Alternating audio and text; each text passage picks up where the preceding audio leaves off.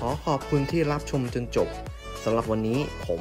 จูเนียร์ฮอบบี้ขอขอบพระคุณครับ และก็อย่าลืมกดไลค์กดแชร์ กดติดตาม เพื่อเป็นกำลังใจให้ผมทำคลิปต่อๆไปด้วยนะครับ